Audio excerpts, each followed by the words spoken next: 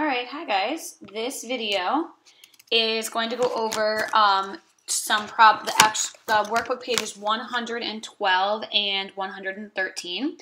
Um, these problems are pretty tricky.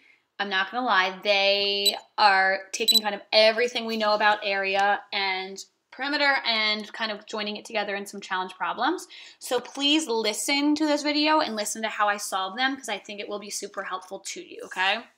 So it says the figure shows a small rectangle and a large rect and a large rectangle. So I'm going to stop. So I see there's like a big one and I see like a little small one right here. Find the area of the shaded part of the figure. So I want to know the area of like this gray part right here. So what I try to do and what they're trying to get you to do right here is they're scaffolding it for you down at the bottom.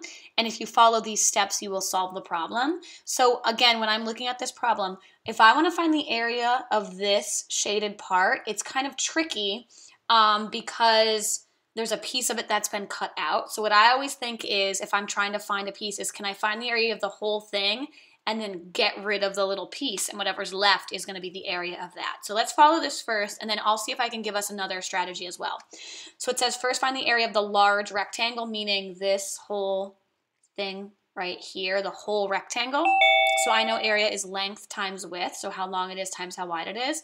So I know that this side of the whole thing is 16, and the long side of the whole shape, well, if this side's 12, and this side is 6, I know that whole side is 18, so I'm doing 16 times 18. You can use a calculator for this, um, but you um, can also solve it off on the side. So just to speed things up a little bit so this video isn't forever long, I'm going to just do 16 times 18.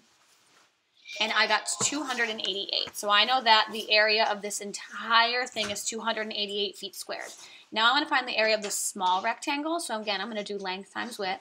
So I see that this is 6, and then I need to figure out how long this side is. Well, let's see. If this piece is 7, and I'm trying to find that piece right there. If I look at the opposite side of this rectangle, I see that this whole thing is 16. So I'm going to get rid of that 7. And I know that 16 minus 7 gets me to 9. So I know that this is 9. So if I want to figure out the area of this small thing, I have to do 9 times 6, which gets me to 54. So I know that the whole thing is 288 and this small one is 54. So what I'm going to do then is I want to get rid of this small piece so that I can figure out how much is left in this shaded part right here. So I'm going to do my whole thing 288.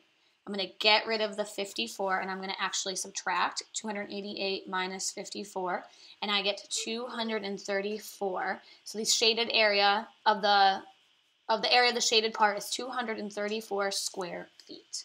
Okay. Um, all right, let's come over here and let's solve this one. This one says the figure shows a small rectangle. Again, I see that little one. And a large rectangle, which is the whole thing. Then we need to find the area of the shaded figure. This is the same thing we just did. So I'm going to first find the area of the whole entire thing. Then I can find the area of this little piece and then get rid of it. And if I get rid of it, whatever's left is that shaded part. So let's do the large rectangle first. I know the area is how long it is times how wide it is. So I see that the length is 15. Now I have to figure out the width. Well, if this side's 4, then that side's 4. If this is 3, then that's 3. And if that's 4, then that's 4. So 8, 9, 10, 11. So this side is 11. Um, so what I'm going to do first is I'm going to do 15 times 11. 15 times, oops, I did minus. 15 times 11, and that gets me 165. So now I know the area of the whole thing is 165. Now I'm going to do the area of the small rectangle. This little thing, I see that it is 4 inches long, and I see that's 3 inches wide. And I know 4 times 3 is 12. So the area of that is 12 inches squared. So again, if I know this is 12, I want to get rid of that 12 to see what's left. So I'm going to take the area of the whole thing, which was 165. I'm going to take away the area of the small one, which was 12. And then I'm going to do 165 minus 12, and that got me to 153. So I know that this is 153 um, square inches.